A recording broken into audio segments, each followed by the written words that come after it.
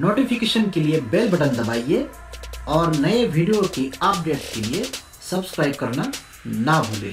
तो please subscribe ज़रूर करें। नमस्ते दोस्तों आपका स्वागत है मेरा YouTube channel hit short film में। आज की इस पार्ट में मैं आपको बताने जा रहा हूँ एक ऐसा प्रॉब्लम जो मुझे इस लैपटॉप के साथ आ, मुझे आ, फेस हुआ है और शायद ऐसा हो सकता है कि ये आपको भी ये प्रॉब्लम आया हो, ठीक है? अगर आया नहीं है तो फिर फ्यूचर में कभी भी ये प्रॉब्लम आपको आ सकता है, क्योंकि ये बहुत ही नॉर्मल इशू है, लेकिन कभी कभी ये थोड़ा सा दिक्कत वाला हो जाता है। तो वो कैसे हम इसे फिक्स कर सकते हैं या फिर कैसे समझें इसे, यह आपको जानना ज़रूरी है, ठीक है? अब ये जो लैपटॉप है ये डेल का इंस्पिरॉन लैपटॉप है और इसमें इशू ऐसा था कि जब ये मेरे पास आया तो ये बिल्कुल लैपटॉप ऑन नहीं हो रहा था ठीक है?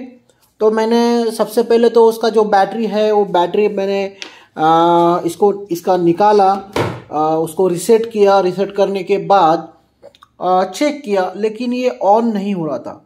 लेकिन जब मैंने आ, इसका जो मुझे लगा कोई शॉर्ट वगैरह हो गया है क्या? तो मैंने शॉर्टिंग भी चेक किया लेकिन शॉर्टिंग भी नहीं था लैपटॉप तो फिर फिर मुझे थोड़ा सा ये डाउट हुआ कि शायद इसका जो पावर स्विच है, वो पावर स्विच भी ख़राब हो सकता है। इसका रीज़न है, ये है कि इसका जो पावर स्विच है, क्योंकि नॉर्मली हमारे जो लैपटॉप होते हैं डेल के तो वो जो पावर स्विच होता है जैसे मैं एक दूसरा लैपटॉप आपको दिखाता हूँ, जैसे अभी ये लैपटॉप है। ये लैपटॉप का पावर स्विच यहाँ पे है, ठीक है? आपको मैं और एक लैपटॉप में आपको दिखाता हूँ, ठीक है? इसका यहाँ पे है। लेकिन ये जो लैपटॉप है, ये लैपटॉप का जो पावर स्विच है, वो पावर स्विच आप देख सकते हो यहाँ पे। यहाँ पे इसका एलईडी होता है, ठीक है? और यहाँ पे जो स्विच यहाँ पे लगा हुआ होता है, इसके हिंजेस जो मतलब जो बैक पैनल जो होता है डिस्प्ले पैनल जो होता है हमारा तो यहाँ पे ये लगा हुआ था। तो अब इस लैपटॉप में क्या इशू था कि यहाँ पे जो ये आप सर्किट देख रहे हो ठीक है छोटा सा ये वायर्स यहाँ पे कट हो गई थी। तो आ, कट होने के बाद एक्चुअली ये वायर भी अंदर जा चुका था तो मैंने इसे पहले बाहर निकाला ठीक है मैं आपको थोड़ा सा करीब लाके जा जाके दिखाता हूँ ठीक है। तो मैंने इसे बाहर निकाला और बाहर निकालने के बाद ये तीनों वायर, यहाँ पे आप देख सकते हो, ये तीन कॉन्टैक्ट कॉन्टैक्ट पॉइंट्स है यहाँ पे। तो ये तीन वायर यहाँ पे लगी हुई थी, ठीक है?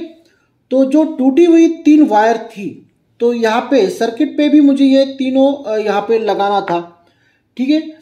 तो सबसे पहले दिक्कत तो ये है कि अभी एक जैसे अभी यहाँ पे मैं आपको दिखाता हूँ, एक रेड वायर यहाँ पे है एक ऑरेंज यहाँ पे और एक ब्लैक वायर था। ऑरेंज नहीं सॉरी एक वाइट था और एक ब्लैक था, ठीक है? तो सबसे पहले तो आपको ये समझना पड़ेगा कि ये तीनों वायर है किस चीज़ के, ठीक है? तो इसमें क्या होता है, एक जो ग्राउंड है वो कॉमन होता है, जो बीच वाला होता है वो एलईडी के लिए होता है, जो कि जो सर्किट जो यहाँ पे आप देख सकते हो, ये स्विच है और उसके बाजू में येलो कलर दिख रहा है, वो, ये एलईडी है, जो कि हमें दिखाता है, दर्शाता है कि ये लैपटॉप जो है आपका ऑन हो चुका है।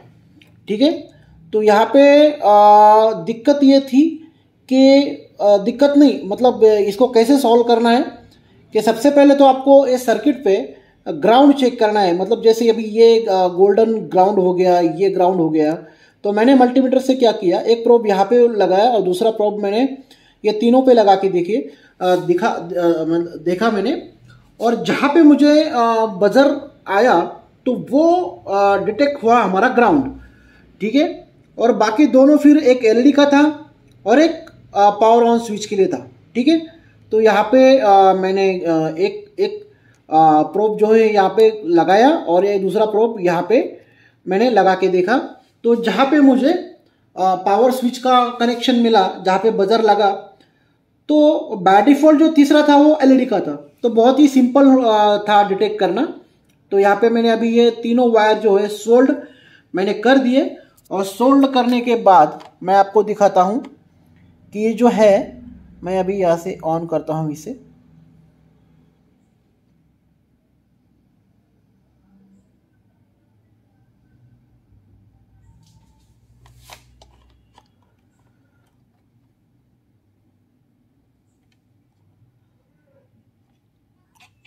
आप देख सकते हो यहाँ पे ये ऑन हो गया है। देखिए, ये जो है ऑन हो गया है। ठीक है? तो देखो, हमने जब बायस रिसेट किया, ठीक है? क्योंकि यहाँ पे मैंने मदरबोर्ड का जो इसका बैटरी था, वो भी निकाल के देखा था। तो फिर आपको ऐसे आएगा ही। यहाँ पे आपको एफ़ टू में जाके सब सेट करना होता है। मतलब डेट टाइम जो भी है सेटिंग जो है, वो हमें सेट करना होता है। और सेट करने के बाद ये जो है हमारा आ, आ, जो लैपटॉप है वो अच्छे से वापस से काम करने लग जाएगा। ठीक है? तो अभी लैपटॉप तो ऑन हो गया है। तो बस मुझे ये दिखाना था आपको बताना था कि यहाँ पे स्विच होने के कारण पावर स्विच होने के कारण क्योंकि डिस्प्ले पैनल जो है हम यहाँ पे लगाते हैं खोलते हैं।